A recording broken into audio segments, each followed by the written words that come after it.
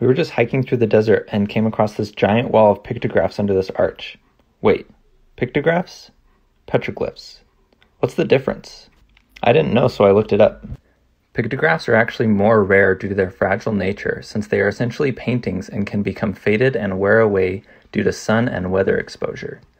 Petroglyphs, on the other hand, are designs that are chiseled or carved into the rock and can last much longer.